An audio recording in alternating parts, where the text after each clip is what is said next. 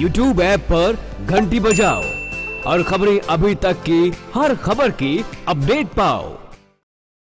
Cantonment board Ambala 12 नवंबर को रंगमंच 2018 का आयोजन करने जा रहा है, जिसमें हरियाणा, पंजाब, हिमाचल और जम्मू कश्मीर की तेरह टीमें हिस्सा लेंगी, जिसमें साढ़े सात सौ स्कूली बच्चे भी हिस्सा लेने जा रहे हैं।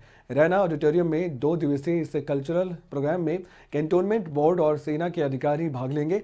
इस रंगमंच 2018 कार्यक्रम में आने वाले प्रतिभागी, बच्चों के रहन सहन और ट्रांसपोर्ट की उचित व्यवस्था वेस्टर्न कमांड इंटर स्कूल करेगा, जिसके लिए अलग अलग धर्मशालाओं और अन्य स्थलों की यहाँ पर जो है बुकिंग भी की गई है।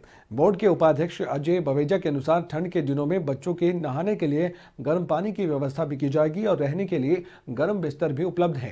तेरह नवंबर की शाम रंगमंच 2018 के विजेताओं को मोमेंटो दिया जाएगा।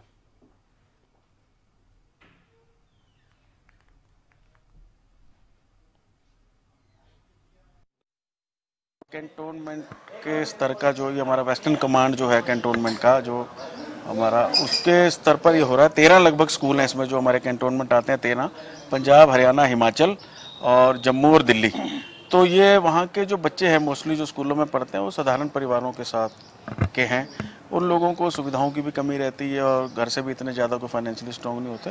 तो हमारे ये डायरेक्टरेट लेवल पे एक डिसाइड हुआ कि भी हमें इंटर स्कूल कॉम्पिटिशन्स कराने चाहिए, जिससे बच्चों की जो प्रतिभा है, जो उनकी छुपी रह जाती है, वो प्रतिभा किसी तरह से बाहर आए और वो उनको एक्सपोजर मिले।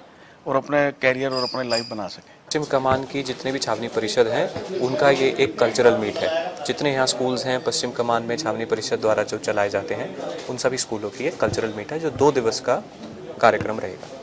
इसमें देखिए, एक तो हमारे जितने भी छावनी परिषद के जो चीफ एग्जीक्यूटिव ऑफिसर्स हैं और डिफेंस स्टेट ऑफिसर्स हैं प्लस हमारे जितने डायरेक्टरेट चंडीगढ़ में जितने प्रधान निदेशक और निदेशक हैं वह सभी इसमें शरीक होंगे। इवन दिल्ली से जो हमारे रक्षा संपदा महानिदेशालय से जो अफसरान हैं, वो यहाँ पे आएँगे।